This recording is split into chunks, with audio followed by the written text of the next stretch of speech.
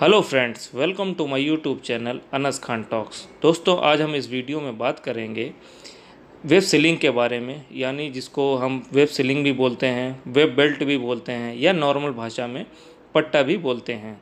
दोस्तों, ये जो हमारी वेब सीलिंग है, ये ख़ास तौर से हमारे वेट को एक जगह से दूसरी जगह ले जाने में काम आती है। तो दोस्तों, ये कैसी होती है? इस जो हमारी वेब बेल्ट होती है, वो हाइड्रा में और हमारी टावर क्रेन में सामान को होल्ड करने के लिए काम आती है। कोई भी वेट अगर आपको होल्ड करना है तो उसके वेब बेल्ट में पहले उसको होल्ड करेंगे, उसके बाद हाइड्रा से या टावर क्रेन से उसको उठाएँगे और एक दूसरी जगह से दूसरी जगह उसको पुल करके ले जाएँगे। तो दोस्तों, ये वेब बेल्ट क्या होती है? इसका इंस्पेक्शन क्या होती है? किस लोड के लिए कौन सी वेब बेल्ट हमें यूज़ करना चाहिए?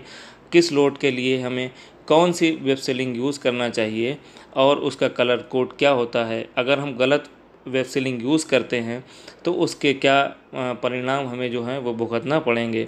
और कब, कहाँ पर किस तरह से इसको यूज़ करना चाहिए? इसका इंस्पेक्शन कैसे होता है? और ये ख़राब कब होती है? वो सारी चीज़ें हम आपको इस वीडियो में बनाएँगे। तो दोस्तों, आप इस वीडियो में लास्ट तक ज़रूर बने रहिएगा। हम आपको पर्टिकुलर वेट के अकॉर्डिंग पर्टिकुलर वेब बेल्ट के बारे में बताएँगे और इसको ये भी बताएँगे कि इस वेब बेल्ट को कैसे पहचाने कि किस लोड के लिए ये बनी हुई है। तो दोस्तों शुरू करने से पहले मैं आपसे यही एक बार रिक्वेस्ट करूँगा कि अगर अभी तक आप, आपने हमारे चैनल अनस खान टॉस को सब्सक्राइब नहीं किया है तो सबसे पहले प्लीज़ हमारे चैनल अनस खान टॉस को सब्सक्राइब कर लें और साथ ही साथ बेल आइकन का भी बटन दबा दें, जिससे आने वाले वीडियो की जानकारी आप तक सबसे पहले पहुँचे। और दोस्तों, ये दोनों काम बिल्कुल ही फ्री हैं। तो दोस्तों, सबसे पहले हम बात करते हैं बेल्ट के बारे में, कि यानी किस लोड को उठाने के लिए कौन सी वेब बेल्ट रिक्वायर्ड होती है और उसको कैसे पहचानें। तो दोस्तों, आप जैसा इसके स्क्रीन पर देख रहे हैं कि हमारे पास अभी जो वेब बेल्ट है, ये वॉयलेट कलर की है। तो वॉयलेट कलर की जो वेब बेल्ट है, इससे हम एक टन लोड उठाते हैं और जो इसकी यानी जो चौड़ाई होती है, वो 25 से 30 से और 50 एम तक होती है और इसका जो हमारा लोड उठाने की कैपेसिटी होती है, वो एक टन होती है। और दोस्तों, जहाँ पर आप ये देख रहे हैं, ये तीर जो दर्शा रहा है, एक काली पट्टी वेब बेल्ट के बीच में पड़ी होती है, इसको बोलते हैं स्ट्रिप यानी एक ब्लैक लाइन अगर पड़ी हुई है तो यानी एक टन लोड हम इससे उठा सकते हैं। दोस्तों, उसके बाद हम बात करेंगे ग्रीन वेब बेल्ट के बारे में। ग्रीन वेब बेल्ट, यानी ग्रीन सीलिंग जो है, इसमें दो टन का लोड हम उठा सकते हैं और इसमें नंबर ऑफ़ स्ट्रिप जो होती हैं, यानी ब्लैक धागे की जो पट्टियाँ होती हैं, इसमें दो होती हैं और इसकी जो चौड़ाई होती है, वो छप्पन से साठ एम mm के बीच होती है। इसका जो लोडिंग कैपेसिटी है, यानी लोड कैपेसिटी कितनी उठा सकता है ये ये दो टन तक उठा सकता है। उसके बारे में हम बात करेंगे। येलो के बारे में। येलो में आप देख रहे हैं कि ये तीन टक, टन की कैपेसिटी तक का लोड आसानी से उठा सकता है और इसकी जो नंबर ऑफ़ स्ट्रिप होती हैं इसमें वो तीन होती हैं। और जो यहाँ पर आप देख रहे हैं कि इसकी जो चौड़ाई होती है वो पचहत्तर से लेके नब्बे एम तक होती है। उसके बाद हम बात करेंगे ग्रे के बारे में। ग्रे बेल्ट जो है वो चार टन लोड उठाने के लिए डिज़ाइन की जाती है। और इसकी जो चौड़ाई होती है वो 100 से 120 एम तक होती है और इसमें नंबर ऑफ़ स्ट्रिप जो होते हैं वो चार होते हैं। उसके बारे में बात करेंगे रेड वेब बेल्ट के बारे में। इसको रेड वेब बेल्ट को डिज़ाइन किया जाता है पाँच टन लोड उठाने के लिए। जनरली हम साइट पर या कंस्ट्रक्शन इंडस्ट्री में या दूसरी भी इंडस्ट्री में ये रेड वाली ही यूज़ करते हैं और इसकी जो विद होती है, यानी चौड़ाई होती है, वो 125 से 150 एम तक होती है और इसकी जो weight lifting weight load lifting capacity होती है, वो पाँच तक पाँच टन तक होती है और इसके अंदर जो स्ट्रिप होती हैं, जैसे कि आप देख रहे हैं, तीर दर्शा रहा है, वो नंबर ऑफ़ स्ट्रिप जो है, वो पाँच होती हैं। उसके बाद हम बात करेंगे ब्राउन के बारे में। ब्राउन वेब बेल्ट जो है, वो छः टन लोड उठाने के लिए बनाई जाती है और इसकी जो विथ होती है वो डेढ़ सौ से एक सौ अस्सी एम एम के बीच होती है और इसकी लोड कैपेसिटी जो होती है वो छः टन तक ये भार आसानी से उठा सकता है। और इसमें जो स्ट्रिप्स होती हैं वो छः होती हैं। उसके बाद हम बात करेंगे ब्लू के बारे में। दोस्तों, जो ब्लू वेब बेल्ट होती है वेब सीलिंग होती है, ये आठ टन टन तक कैपेसिटी उठा सकती है और इसकी जो चौड़ाई होती है, वो 200 से लेकर 240 सौ तक होती है। और इसमें नंबर ऑफ़ स्ट्रिप्स जो होती हैं, वो आठ होती हैं। आप देख रहे हैं स्क्रीन पर जो हमारा एरो है, वो आपको स्ट्रिप की तरफ़ दिखा रहा है और इसमें स्ट्रिप जो हैं, वो आठ होती हैं। उसके बाद हम बात करेंगे ऑरेंज के बारे में। ऑरेंज वेब बेल्ट जो है, वो मल्टीपल लोड कैपेसिटी के लिए आती है और इसको मल्टीपल जगह जगह पर यूज़ किया जाता है। तो आप सीक्वेंस वाइज देखिए यहाँ पर जो इसकी वेट लोडिंग कैपेसिटी होती है, वो 10 टन से होती है और 20 टन तक जाती है। अब इसको कौन से पहचाने कि कौन सी ऑरेंज बेल्ट जो है, वो किस लोड को उठाने के लिए कैपेबल है? अब आप अगर इसके अंदर स्ट्रिप देखेंगे, गिनेंगे तो 10 स्ट्रिप जो हैं, वो 10 टन लोड उठाने के लिए होती है। 12 स्ट्रिप वाली जो है, वो 12 टन लोड उठाने के लिए होती है।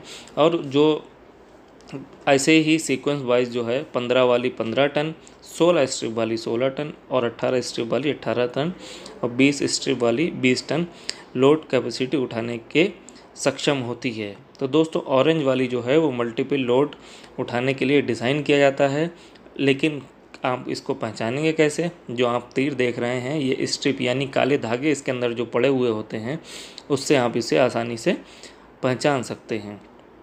तो दोस्तों नंबर ऑफ़ स्ट्रिप देखकर आप जो है, वो वेब सीलिंग जो है, वो पहचान सकते हैं कि किस लोड को उठाने के लिए ऑरेंज वाली जो है, वो सक्षम है। और दोस्तों, जो सारी, जो वेब सीलिंग है ऑरेंज वाली, इनकी चौड़ाई जो होती है, वो 300 सौ mm तक होती है।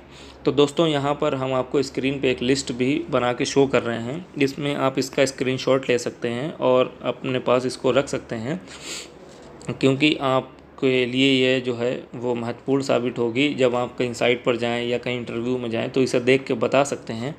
इस, आप देख रहे हैं, जैसा कि स्क्रीन पे मैंने क्लियरली लिखा हुआ है सीक्वेंस वाइज कि कौन सी वेब बेल्ट किस कलर में होती है, कितनी चौड़ी होती है, और नंबर ऑफ़ स्ट्रिप कितने होते हैं, और किस लोड को उठाने के लिए ये डिज़ाइन की जाती है, इसमें यानी कितना लोड उठा सकते हैं।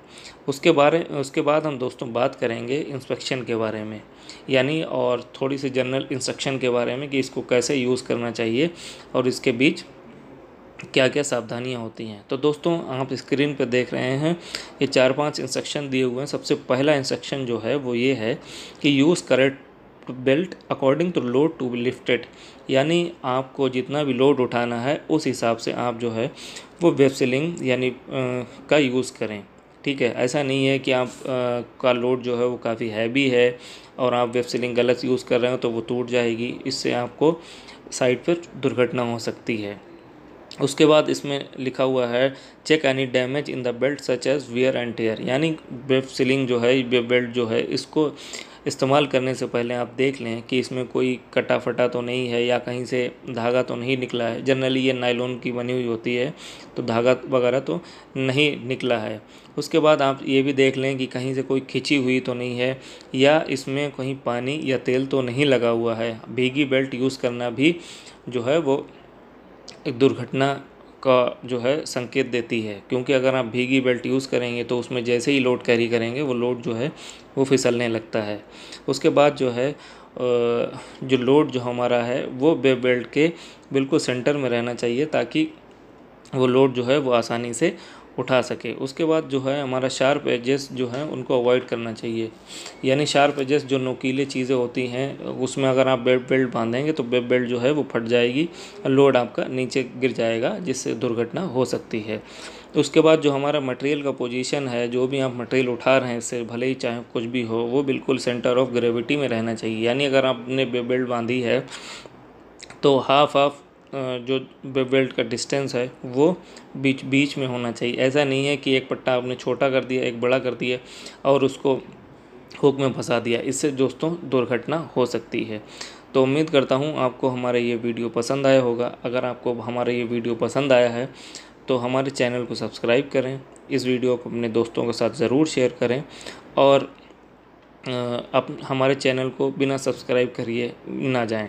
तो दोस्तों, उम्मीद करता हूँ, अगर आपको इसमें कोई प्रॉब्लम आई है या आपको वीडियो में कुछ कन्फ्यूज़न है तो कमेंट बॉक्स में हमें ज़रूर पूछें और हमारे चैनल को सब्सक्राइब कर लें। मिलता हूँ बहुत ही जल्द एक नए वीडियो के साथ। तब तक के लिए दोस्तों, जय हिंद, जय Bharat, stay safe and stay healthy.